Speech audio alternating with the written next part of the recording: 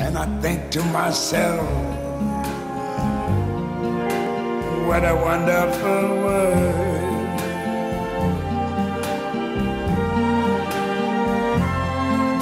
The colors of the rainbow, so pretty in the sky, are also on the